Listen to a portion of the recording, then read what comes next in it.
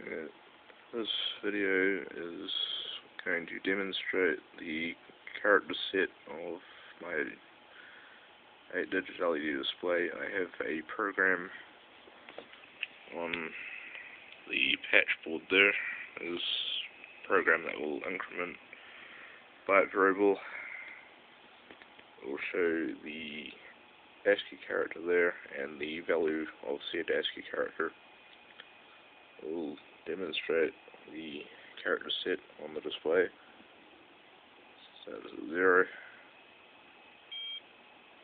7's bell character, and it counts in binary up to about 48. We'll do the regular numbers.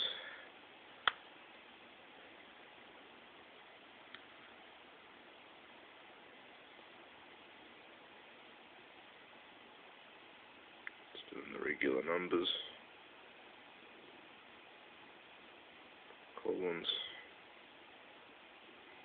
and the letters.